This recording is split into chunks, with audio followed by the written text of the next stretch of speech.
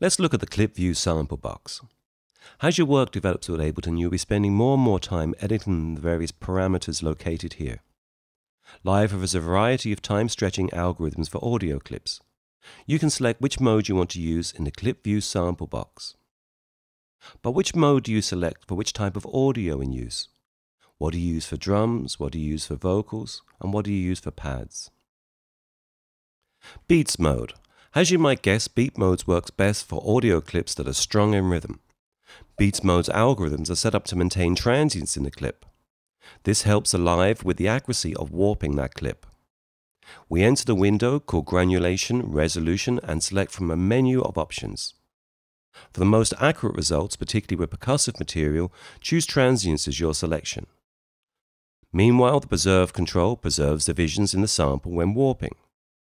To create new or maintain specific beat divisions, regardless of the audio clip's contents, you can select one of the fixed note values here. This can create some very interesting clip variations or new percussive parts when used experimentally. Let me show you. First of all, let's play a clip at 120 and then slow it right down.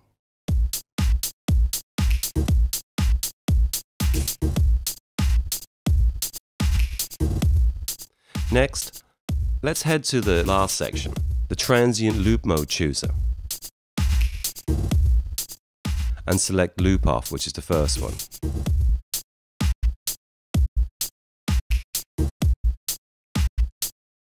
As you can hear, this introduces silence depending on the fixed note value selected here. So if we choose a quarter note or an eighth, it will dramatically affect what we hear. Each transient plays to its end and then stops. Any remaining time between the end of the transient and the start of the next will be silent. Next up we have loop forward.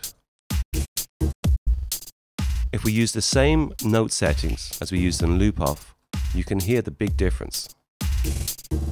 In this instance, instead of silence, the playback then jumps to the middle of the audio segment and continues looping until the next transient occurs. Alright, let's try the last option now. Loop back and forth, and again let's listen.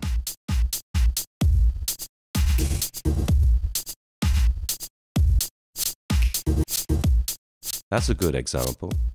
Here we have the same formula as loop forward except that critically, the additional audio used to fill in the silence is reversed. The transients envelope slider applies a volume fade to each segment of audio. Set at 100 there is no value. Longer values help to smooth any clicks or glitches which personally you might like to keep, whereas shorter ones can be used to apply rhythmic pumping effects.